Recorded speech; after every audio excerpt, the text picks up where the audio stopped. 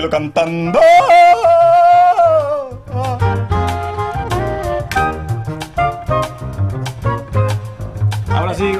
Sí, sígale con el Pero. ¿para cuándo el, en la versión de Pansori? Ah, sí, cierto, ¿verdad? Todavía se las debo. Hoy era versión desafinada, ¿no? No, no, era versión tenor, comadre, más que es versión ópera. O, Versión o- súper versión desafinada. opereta, comadre, versión opereta. Ahora sí, sígale con en el fin, guion ya en que fin, tenía en ganas de enseñar usted. Sí, ahora sí, vamos a aprender un poco de coreano a través de sus canciones favoritas. ¿Listo, Alfonso? Casi, casi. Aquí. Pues sí, bueno, no me queda de otra, ¿verdad? Aquí me tienen con papel de delegado, o mejor dicho, de representante del alumnado de Melodías de Corea. Hubieran seleccionado a otro de verdad. Ah, aquí a los niños que nos A uno de los programa. estudiantes que vinieron hoy. Sí, ¿por qué, no, ¿por qué no pasamos a uno de los estudiantes ya que vinieron que lo pongan de víctima? Ah, es que, a ver, les explico para los que nos ven por primera vez. Me obligan a estudiar coreano, me obligan a aprender coreano aquí. Y pues yo ni modo, ¿verdad? Es que Sí. Alfonso hace como 20 años que está aquí en Corea y no sabe hablar coreano. Es que me ¿pueden crece la nariz cuando hablo coreano, comadre, por ¿Pueden eso no hablo. ¿Sí? Ayúdenme. Bueno, pero acá la banda de YouTube va va a pasar las respuestas, ¿verdad? Cada vez que la, pre- la maestra me pregunte algo. Ajá. Ok, ok, Sí. ok, Eh, ok. Por cierto, ¿cuál frase vamos a aprender esta vez? Once? Muy buena pregunta, Mm. Alfonso. La de hoy es muy importante pues tiene que ver con una reacción, una respuesta de rechazo o negación. Mm. ¿Mm? Mm. Primero la escuchamos a través de esta canción de Le Serafim. Eva, Sique y la esposa de Barba Azul.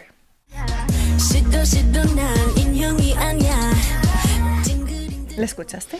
Pues sí, comadre, pero pues nomás el el punchis punchis, pues sí. A ver. Se refiere a la canción, ¿verdad? Pues obviamente es la parte de Eva Sique y la esposa de Barba Azul, pero en concreto, ¿cuál es? ¿No lo pudiste escuchar? No, pues no. ¿No? ¿No, no captaste ninguna palabra? Pues nomás el punchis, punchis, pero pues Punchis, no, punchis, pues nada no. más. ¿Y ustedes, banda, qué tal? ¿Punchis, punchis solamente? A ver. ¿Sí? Sí. A ver, a ver, ya ve, ya ¿Punchis, ve, punchis ya- solamente? sí. ¿Sí? Sí. A ver. ¿Qué tal, Estelita, si la escuchamos una vez Sí, más? otra ¿Se vez, puede? otra vez. ¿Se puede? ¿Sí?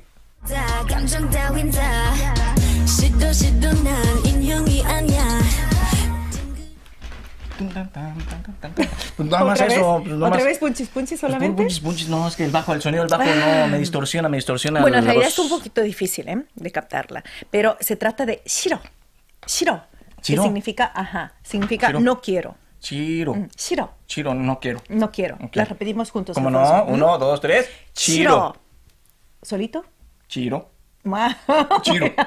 Todos así, juntos. Así con esa cara. Shiro. Chiro, no, todos Shiro. juntos, todos juntos. Uno, dos, tres. Chiro. Ahí está. Ujú. Ujú. No, pero me haces una cara de Shiro. Pues no, pues eh, Shiro. la cara sí me, me sale, pero perfecta, como no necesita ni palabras. pues. Sí. De verdad, en No. ese, en ese Mi lenguaje corporal expresa Es- todo, comadre, todo, todo, todo, todo. Lo todo. dices todo, Alfonso. Todo, lo digo todo, lo, lo digo todo. Lo dices con todo con tu, Mm. con Bueno, tu explíquenos, lenguaje explíquenos, corporal. Explíquenos. Bueno, shiro es un adjetivo predicativo Ah. que expresa un estado psicológico o, o emocional de una persona y significa no quiero, me desagrada, no me gusta. Mm. Su, su infinitivo es 싫 Shilta. Ah. En sí mismo constituye una oración. Al formar oraciones con este adjetivo es común que se omite el sujeto, generalmente en primera persona. Entonces podemos decir solo chiro y ya está. Ah, no, oh, así es. Alfonso. Mm, ah, chiro. Chiro. Mm, no hace falta colocar el pronombre personal da, de yo antes de shiro. Por ejemplo, da shiro no hace falta. Incluso sonaría un poco raro. Generalmente decimos shiro porque se entiende como un no quiero. Okay. ¿Mm? La practicamos escuchando la canción que la contiene. Canta mm. Le Serafim, Eva Sique y la esposa de Barba Sol. Y la bailamos también, ¿cómo no? Ay, sí, qué lindas las chicas. Mm.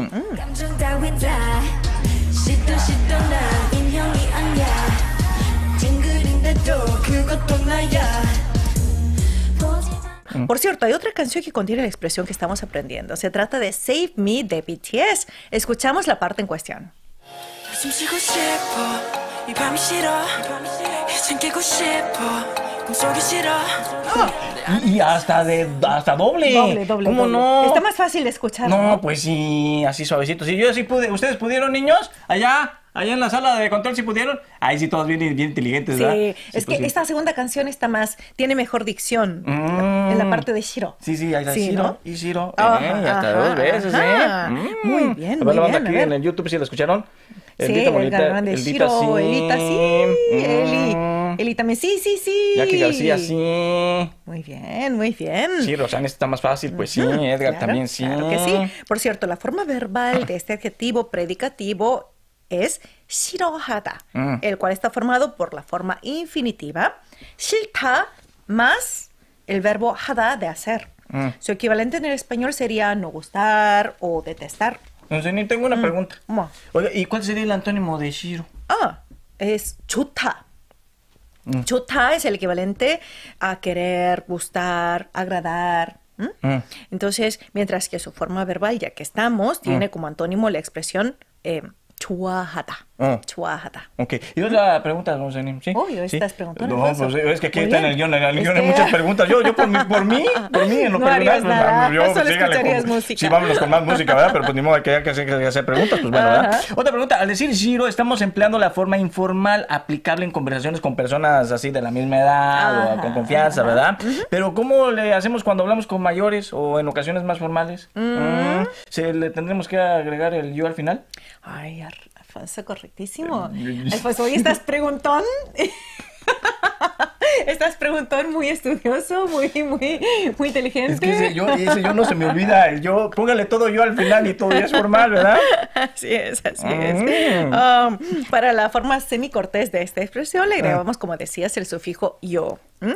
Así diríamos, Chiro yo. perfecto. En tanto que para la versión más honorífica dejamos intacta la raíz, o sea, la sílaba shi, ¿m? y le añadimos sumnida. Por consiguiente diríamos, Alfonso, Shinsumnida.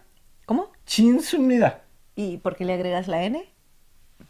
Ah, no, chil, ah, sí, sí, chil sumida. Shilsumnida. Chil perfecto. sumnida. Perfecto. Ah, sin N, sin N. N. Shilsumnida. Shilsumnida. Shilsumnida. Shilsumnida. Ah, sí, sí, sí, Muy bien, muy bien. Hoy hemos estudiado mucho, así que Mm. ahora viene el recreo. Descansamos Mm. mientras escuchamos esta canción de BTS, cuyo título es Save Me. Alfonso, ¿Eh? la frase que aprendimos. Chiro. muy bien. ¿Y significa? Pues no me gusta, no quiero.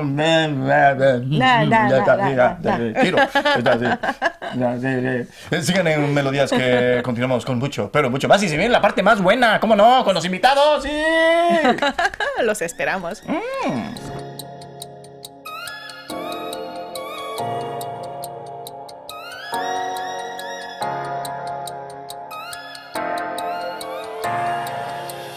숨 쉬고 싶어. 이 밤이 싫어.